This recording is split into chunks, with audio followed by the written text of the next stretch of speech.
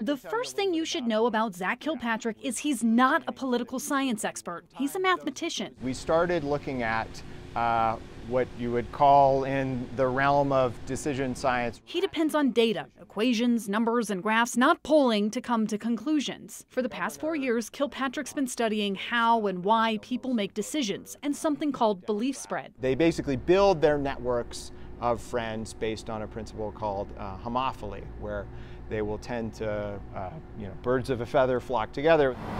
It's the type of math that can apply to a lot of daily decisions, including voting, but can be tough to quantify. People are not always rational in the sense of statistically rational. Because many times we give more weight to people who share our beliefs instead of keeping their biases and our own in check. Changing our minds has also gotten more challenging over time. One of the examples that I often give in data science courses that I teach is if you cluster the voting patterns of the Senate across time. In the past, Republicans and Democrats were closer together in votes and beliefs, so it wasn't a big deal if a politician voted against their party. People could, I feel like, be much more independently minded as politicians in the past than they can now. These days, though, with political clusters spread further apart on issues big and small, according to our models, they're traversing a much longer distance in terms of belief space. And you can see it with the gridlock that we're experiencing now. Something he calls herding. So when someone crosses voting lines these days, Kilpatrick says it's a big deal and should be taken seriously. If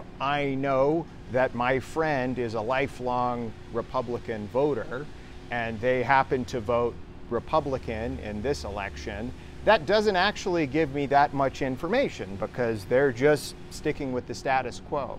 But if my friend were to decide to switch to vote Democrat instead, that would give me a lot more information. An example he often gives is Mitt Romney voting to impeach former President Trump. And what we found in our mathematical models is that you can get these waves of decisions where one person's decision to change their mind can then trigger another group of people, another group of people. Social media has complicated the picture, making it easier for voters to find themselves in an echo chamber where all their friends hold and repeat the same beliefs they have. I will learn a, a substantial bit more by talking to somebody that I'm in, in disagreement as long as I kind of account for and know their biases. So, from a mathematician standpoint, someone who wants to make it clear he's not in the realm of politics, for voters, the best thing you can do is break out of that echo chamber and listen with an open mind to both sides before casting a ballot. Megan Lopez, Denver 7.